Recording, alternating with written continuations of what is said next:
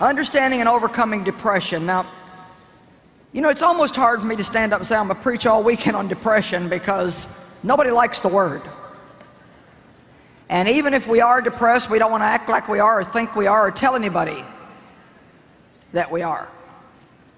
And so I realize that not everybody suffers day in and day out with depression.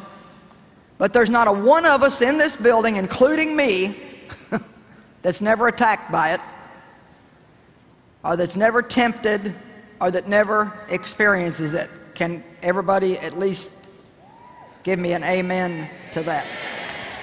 Actually, this week I had something happen and it really hurt me. And when you get hurt, then you get disappointed. When you get disappointed, then you get discouraged. And you know, if, you know, of course, been there, done that. I'm going out to preach on depression. What else should I expect?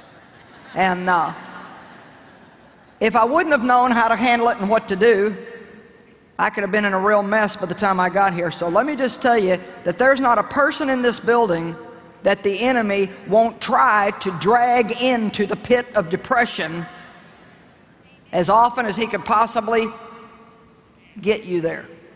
Now, there may be people here who've suffered a lot with depression. There may be people that are in relationship with other people that suffer a lot from depression. But we are going to talk about how we can understand and overcome it and have victory over any degree of it. And I think one of the things that we have to realize is I believe that, that millions of people walk around every day and, and just communicate and fellowship, relate with other people, and they have a low level of depression in their life. They might not be, you know, like,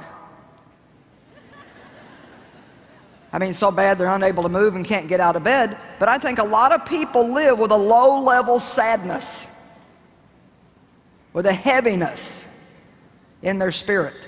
And they're not experiencing the freedom and, and the joy that Jesus died for us to have. Let us not forget tonight, and this is very important to me. The Bible says in John 10 10 that the thief comes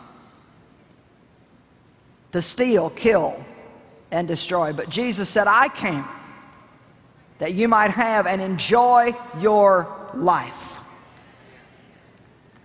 Enjoy your life. He doesn't want us just to live and breathe. He wants us to enjoy our lives. And there's many, many scriptures that tell us that God wants us to have joy. Joy is one of the, the fruit of the Holy Spirit. The Bible says, This is the day the Lord has made. I will rejoice and be glad. And I think a lot of times when we see the writer of the Psalms, David, say, I will do this or I will do that, I think maybe he was letting us know that it's not always easy and you have to make a decision that you're going to do that. Because anything that's going to benefit you, the devil is going to work overtime trying to steal it from you. Now, listen to what I'm, going to say. The Bible says in the book of Nehemiah, the joy of the Lord is my strength. And so Jesus said, I came that you might have joy. The devil tries to steal our joy. A lot of times you want to know the truth, he's not even after the stuff you got.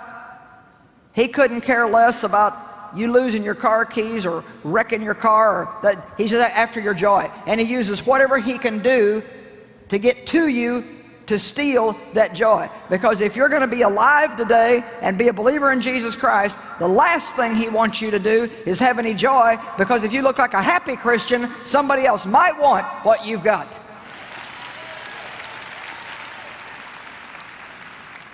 I think it's easier for some people than others. There are some people that are just naturally a little happier than other people. And there are people who, who struggle more than others do. There are people that are just born optimists, and then there are people that are pessimists, and there's a lot of people in between. But to be honest with you, I find in dealing with human beings that, that there's, there's more of the people that tend toward being a little bit deeper and, and sad and a little more negative and a little more easily upset than all of those that just wake up every morning with a giggle in their heart and, you know, just kind of hopscotch through the day and nothing ever bothers them. I've always kind of wished I was one of those people, but I guess it's probably a good thing I'm not because if I was, I couldn't be ministering to many of you because I wouldn't understand what in the world you're going through. So I get it. Amen? I'm like Pastor Tommy Barnett. Thank God for Starbucks until the anointing kicks in in the mornings.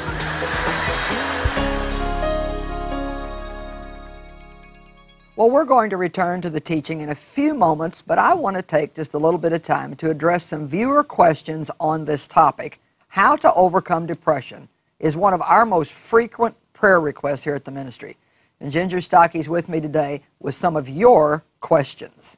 Well, Ginger, I know you've always got some really good questions for me, so. People ask some good ones. Surprise me, and let's see if we can get a good answer out of me. wow, that won't be a big shock, but let's jump right in with a great question.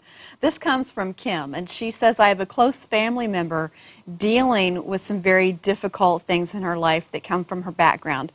Um, she comes from an alcoholic family and is receiving medical care as well as uh, Christian therapy, but still is having a lot of problems and just hasn't gotten the healing. So, what resources of yours and scripture, books of the Bible, do you suggest would be helpful for her to study? Well, Kim, first of all, I think when you have a situation like you're describing, it's we all have to understand that it's probably not going to be something that's just going to get over with real quick. Sounds like this person has had some deep pain for possibly a long, long time. So first I would really be encouraged and I would encourage her, if I guess it's a female relative, I'm not sure, to, to see their progress, to see how far they've come and not just how far they still have to go. I think that's one of the things that we do that really discourages us is we, we just see how far we still have to go and we fail to be excited about and even to celebrate our progress. Of course, knowing the scripture, knowing scriptures, even from the Psalm where David was very honest with God about the way he felt, but then he would like correct himself and say, Why so downcast, O my soul? Put your hope in God. You have to be very careful when a person's feeling depressed that they don't let hopelessness and despair take over. You know, discouragement is one level, but despair is that feeling that there is no way out, there is no answer. But Jesus said, I am the way. So even though we don't see the way, he still is the way. And then lastly, I would like you to really encourage your relative to begin to confess the Word of God out loud. What we think and what we say very much affects how we feel. I'm going to say that again. What we think and what we say very much affects how we feel. The Bible says if we're ever going to enjoy the good plan that God has for our lives, that we have to completely renew our minds with His Word. That's in Romans 12, 2. Be not conformed to this world, but be transformed by the entire renewal of your mind. So we can't think like the world thinks. We have to think the way God thinks. So, for example, I would strongly suggest that this relative say things like, God loves me and He has a good plan for my life. No matter what's happened to me in my past, through Christ, I can overcome it and have a brand new life. I've got a great future in front of me. I also would recommend saying things like, I don't live by my feelings. I know how I feel. I'm not like out of touch with my feelings, but I don't let my feelings rule me.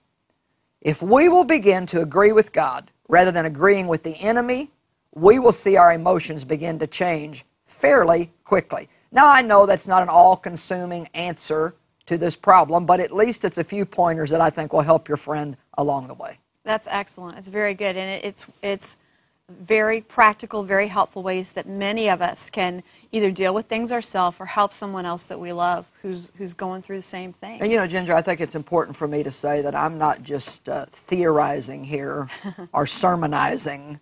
You know, I'm not just putting some little cutesy statements together that I think would be the right thing to say on TV. I have applied these same principles in my life because I was abused. I had a bad first marriage. Uh, my husband ran around with other women. He ended up going to jail for stealing. I mean, just all kinds of stuff. I mean, when I was in my early 20s, I didn't even know what it was like to feel happy. I mean, I really could not remember ever mm-hmm. feeling happy. And it was, I had, I feel like a million temptations to quit and give up. I'd wake up and feel depressed, so I'd be depressed all day. And I know that it's a battle, but the battle's not ours, it's God's. And the way that we fight our battles with God in the lead is by simply doing what He tells us to do. Mm-hmm. We must learn to think different. We must learn to talk different before we feel different. Right. Yeah. It's the first step. Yeah, because if we just keep saying how we feel and saying what we think, then that's what we're going to keep having. But if we will get into agreement with God, to confess, the word confess means to say the same thing as. So if we confess the word and say the same thing the word says, there's power in our words Yeah. that actually breaks the forces of darkness and lets the light in. You know, the, just as a follow up question, because I, I think this next question is such a good one that many, many people ask. But Debbie from Pennsylvania is asking Is depression a sin in my life? Well, Debbie, I don't believe that depression is a sin. I think if you cater to it and just go along with your feelings, that it possibly could become sin. I also think that we have to mention that there are different kinds of depression. I do believe that there's a depressed feeling that we can have that's from a chemical imbalance in our bodies that we can do very little about and we need some medical attention. But I think if the depression is caused from a bad attitude, from negative thinking, from dwelling on the past, you know, from even taking on too much in your life and being unrealistic about what you can accomplish.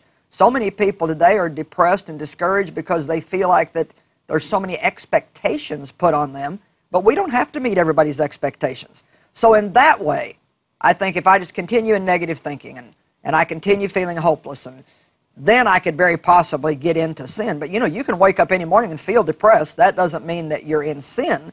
But the, the, the good news is, is that you have the power of God on your side. Greater is He that's in you than He that's in the world. And you don't have to live according to your feelings. You can manage those emotions. Yeah, there's so much guilt connected. Oh, yeah. Especially for Christians. I shouldn't a feel this way. Yeah. We don't even want to tell somebody we have a problem with depression. I It's had a little book yeah. out called Help Me, I'm Depressed. And it really didn't sell very much, you know, because people, I think they don't want to go pick that up. We need the truth in it, Yeah. but we don't want to put a label on, on what we're feeling. Yeah, and, and I understand it. You know, it's Yeah. like it, it, it in the world. It, anything with your mind has has is has a stigma attached to it. And you know, our mind is a part of us, just like anything else. We can have problems with our mind, but we can also get our mind renewed and live the life that God wants us to live. Good answers. You All did right, good thank today. you. Well, let's get right back to the conclusion of today's teaching: understanding and overcoming depression.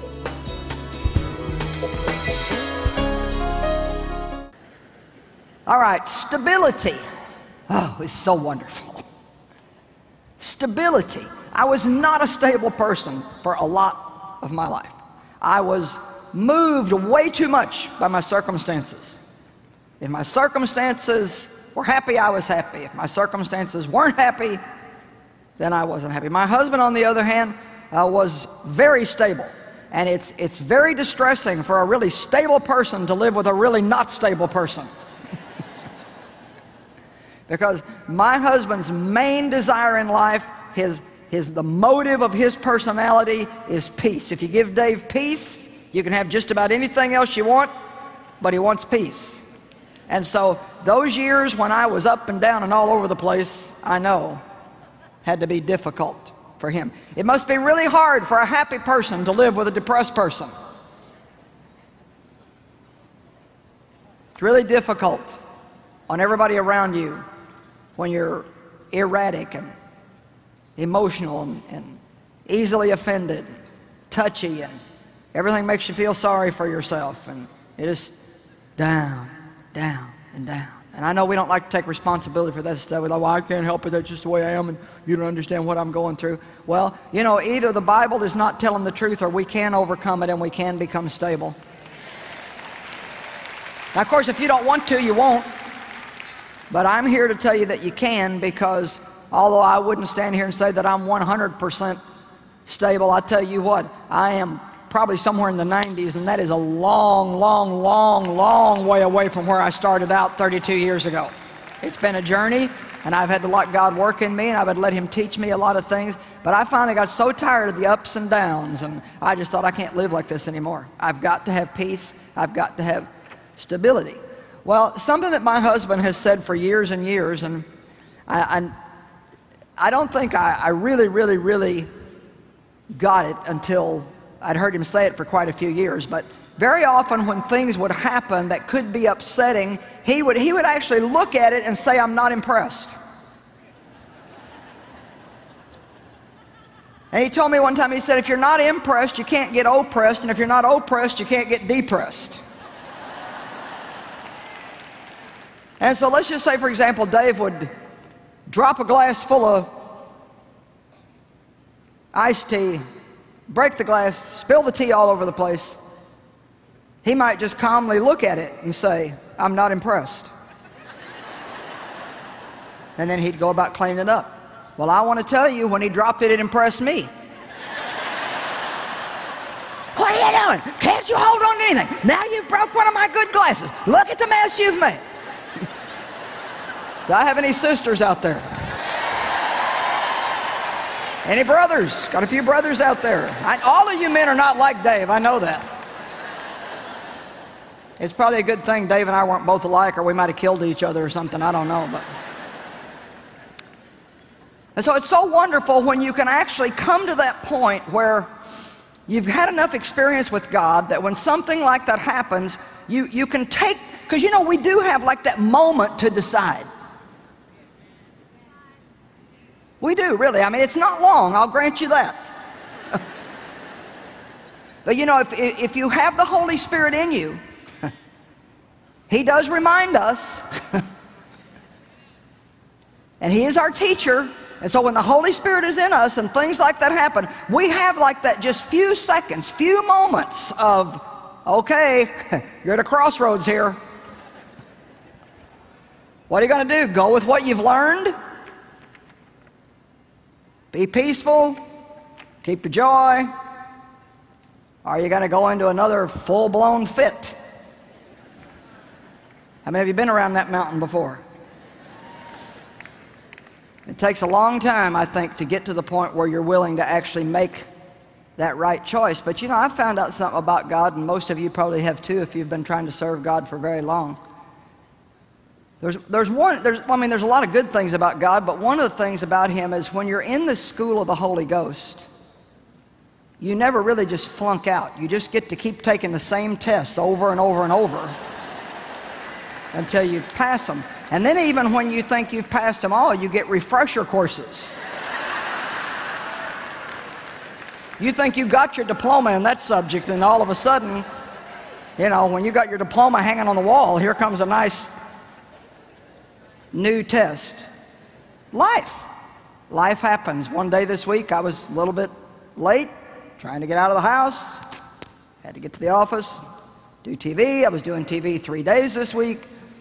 Had to be somewhere else three afternoons this week. Leaving for San Jose on Thursday. Had a packed week. I was getting up every morning 5.30. Had to be ready to leave by 8.30. Had a lot to do, a lot, of, a lot on my mind. Getting my makeup on. Picked up a bottle of water. Went to drink some of the water. It slipped through my hand. Fell down in the floor, under my chair, under my dressing table so I got to get all the stuff out of the way, get under the chair, clean up. I just about get it all cleaned up. I picked it up and dropped it again.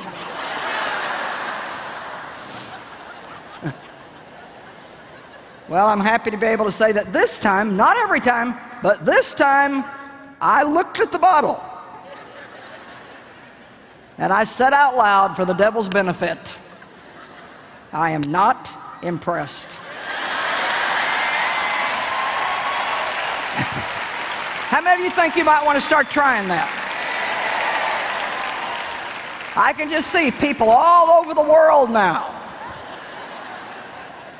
saying, I'm not impressed.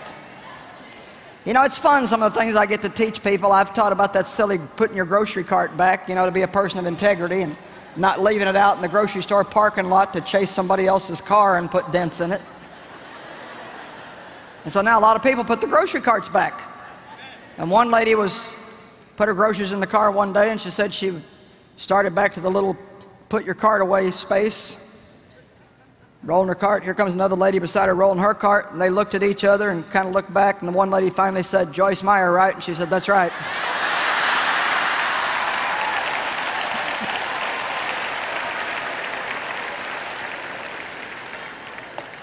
you know, stuff happens.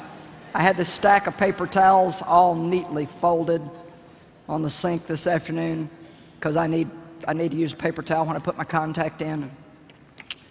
Don't want to get the fuzzy stuff from the towels on my fingers. And I picked the whole, whole not, not nice, folded, you know, maybe 10 of them. Picked every one of them up and dropped them in the sink full of water. I said, I'm not impressed. Now, you know, I know I have to be good this week because I'm teaching you guys this stuff.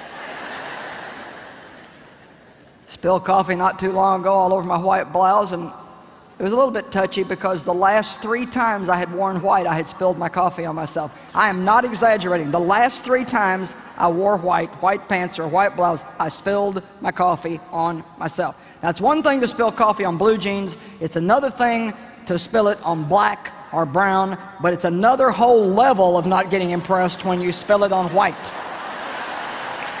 How many of you are out there? So, and you know, then there's all kinds of big stuff that comes up. Some things it's a little bit harder to not let them impress us, but somehow or another I finally decided, I got it through my head, that life is not going to change. And by that, what I, what I don't mean we're not going to have any changes in our life, but I mean, as long as we're breathing, there's going to be stuff happen. There's going to be people doing things that we don't like and acting in ways we don't like, and there's going to be things happening in the world that we don't like. And, and honestly, I mean, if, if we're going to get all discouraged and, and disappointed and, and devastated and depressed and in a bad mood and lose our peace and feel sorry for ourselves every time that things don't go our way, then we are just in for one miserable, miserable, miserable, miserable life. So, will you at least make a decision tonight that the only way you're ever going to have peace is if you decide to change?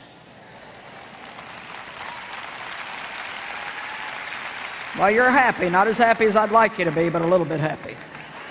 A depressed or a discouraged person or a negative person, one of the things that, that they do is they blow things out of proportion. Everything is like, to them, it's a whole lot worse than what it really is.